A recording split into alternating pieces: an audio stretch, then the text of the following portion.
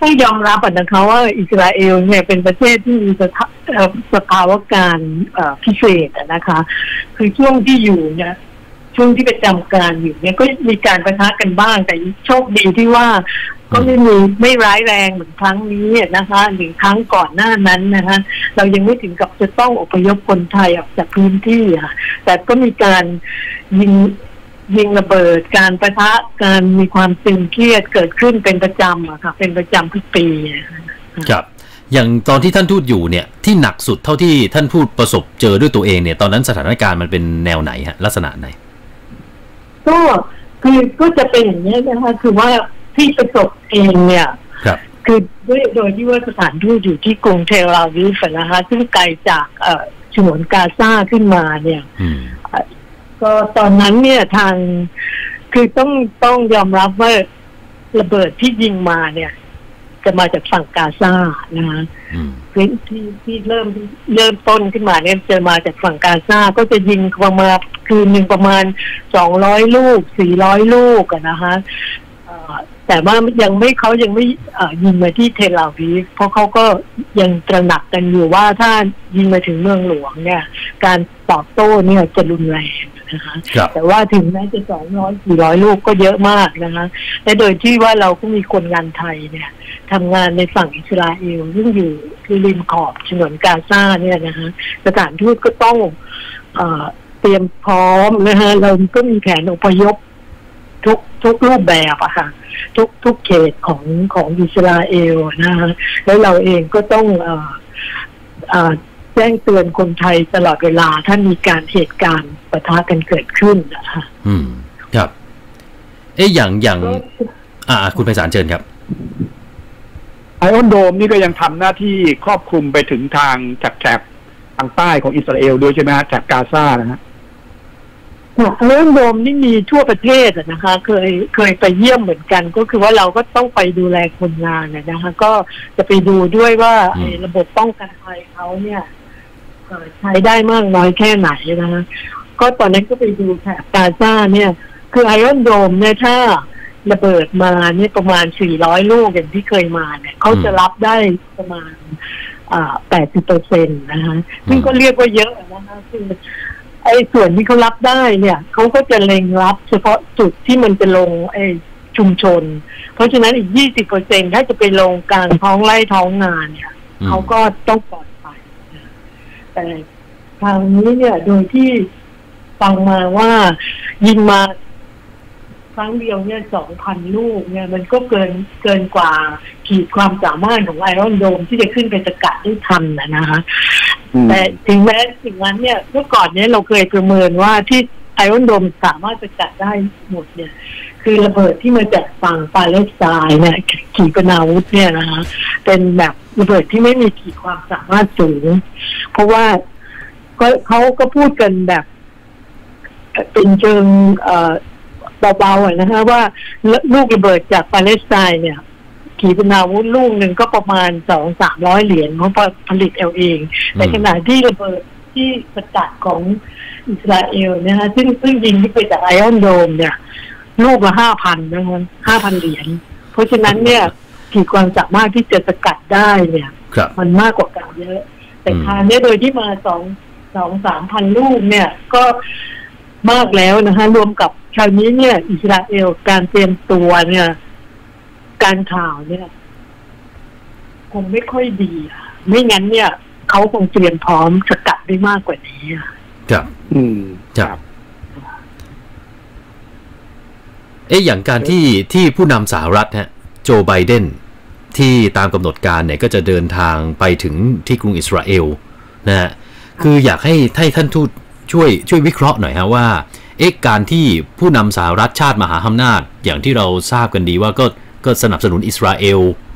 มีความสัมพันธ์อันดีกันมาก่อนอยู่แล้วเนี่ย เดินทางไปในช่วงนี้เนี่ยมันเป็นการส่งสัญญาณอะไรฮะ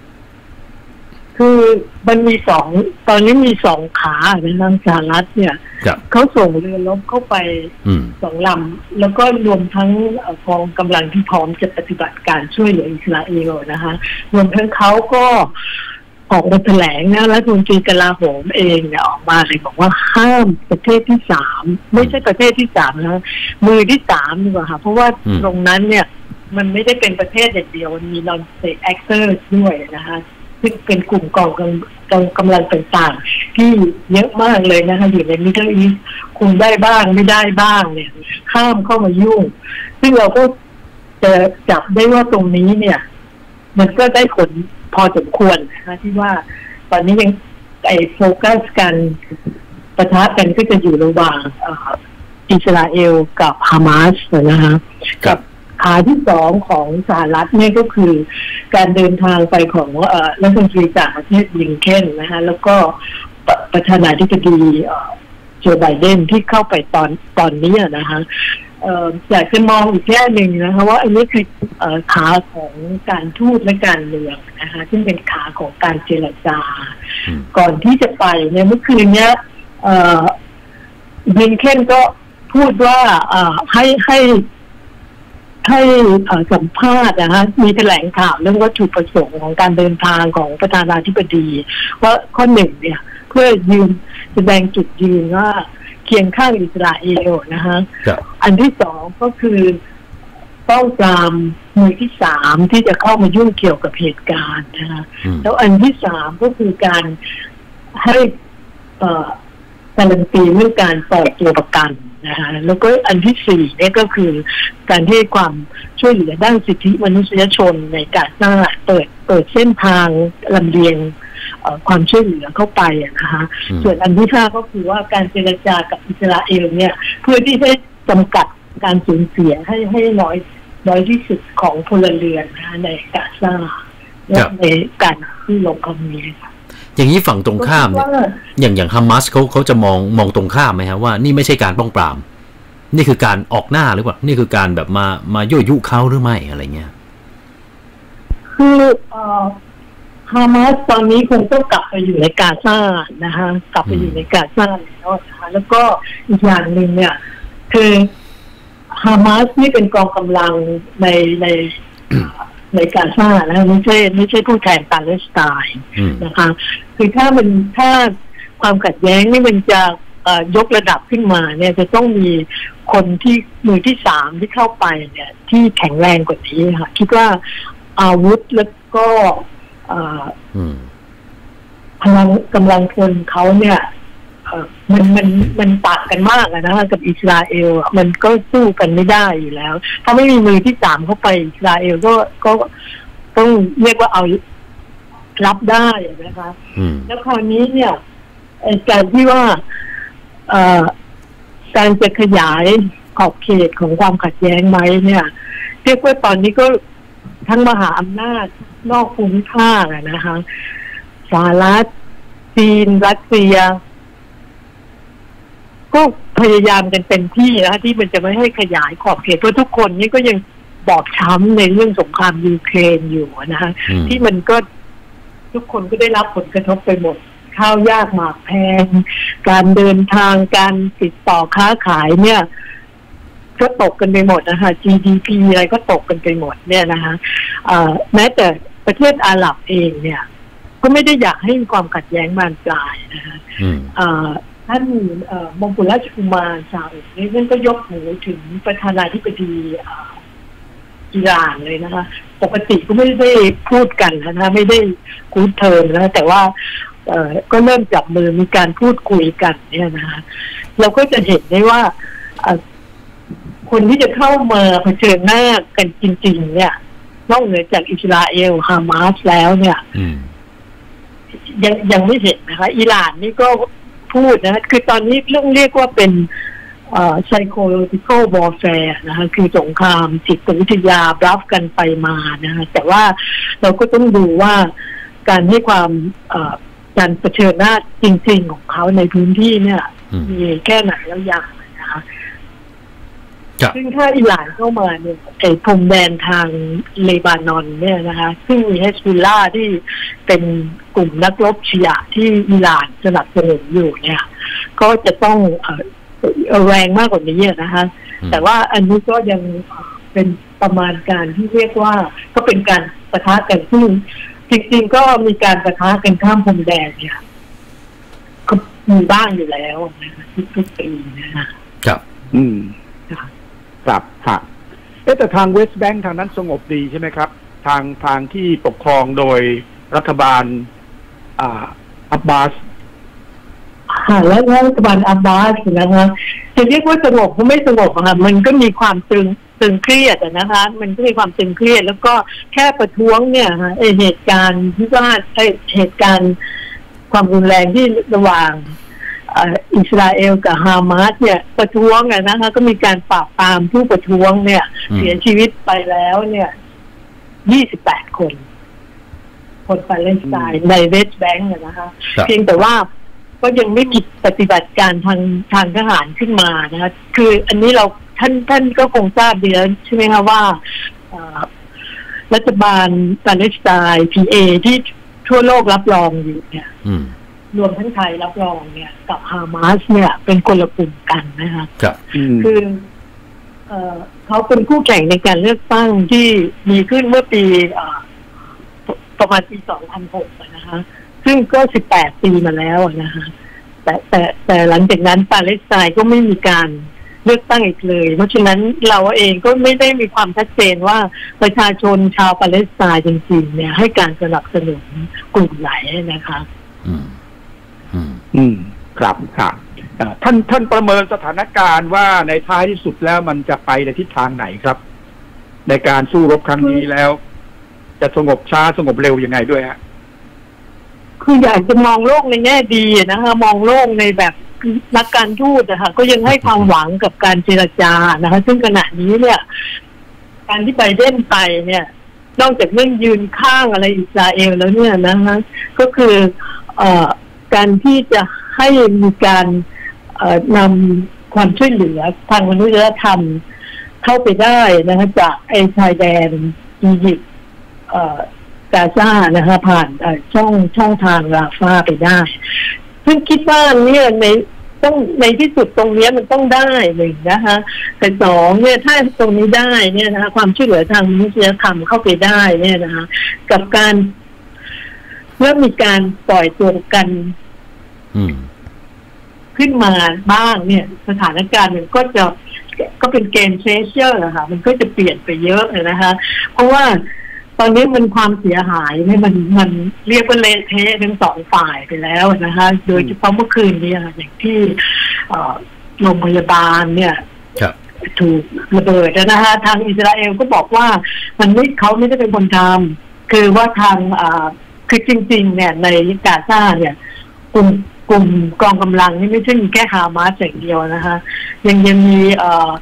อิสลามิกจิฮาดมีอ่อ